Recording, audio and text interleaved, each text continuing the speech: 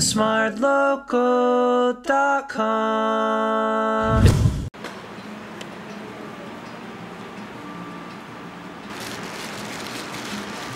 Singapore is known to be one of the cleanest cities in the world.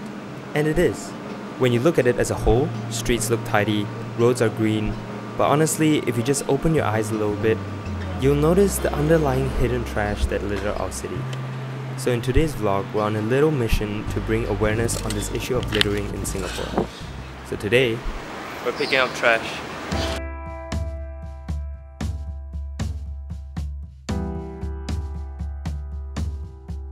We start at the beach. It's the most obvious place where litters carpet the sands. Not as many bins are around, so people get lazy. It's not much of a surprise. Honestly, the main people we have to thank for the cleanliness in Singapore are the cleaners. See, that's all the things that they kind of store up. And then he has to clean up the, uh, the trash bins as well. You feel like Singaporeans are not being clean enough? And he said being clean is basically like this. So he just pointed towards the beaches where there like litter is everywhere. And he basically said uh, a lot of the times a big group of students will come to the beaches and they leave like the biggest mess around. Something to keep in mind I guess. That man we just talked to, he's actually 70 plus already, I just asked him. And every day he still comes here to clean up. And his reason to me was basically that, you know, he's not got enough money to use. Just being out here collecting trash for a few hours, I'm like freaking dying, man. Of course, it's not just the beach. We head to a mall now, and we're gonna see a similar situation.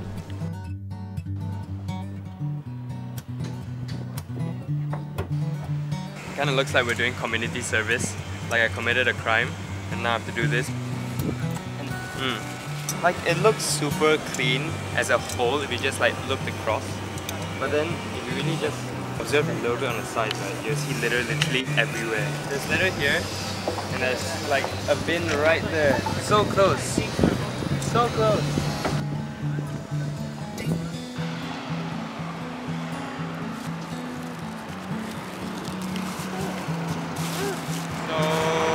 Are in town now, but this place has been literally there, there, like tons of places. Almost every single tree has a bin. Looks kind of clean, with the exception of like cigarette butts and stuff around, because this is a smoking area. But if we look closer, so if we just looked at this, like inside all the trees, there are a crap load of trash.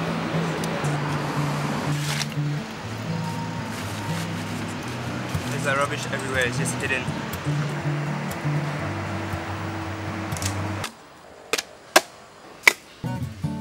A blog post by Vivian Balakrishnan stated that it's not that we live in a clean city, but a cleaned One city. day I work uh, 8 hours. I think eight hours lah. But 10,000 then pan ah. Man, you know, here, block here, block rubbish. A lot rubbish I know everywhere. rubbish, uh, the sweep uh, block and uh, take the rubbish. Okay. I went uh, working here 10 years. I have one. Nobody help me. I uh, 78. Me, Yeah, 69. 69 already.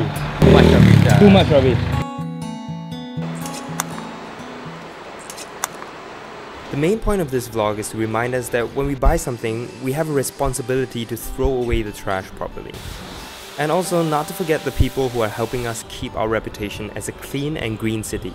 So the next time you see them, shoot them a thank you, because why not? Thank you so much, Uncle. Thank you so much. Thank you!